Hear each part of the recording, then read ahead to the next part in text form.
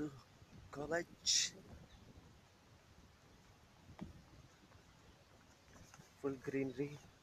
I like greenery very much because I prefer tree, tree, full green.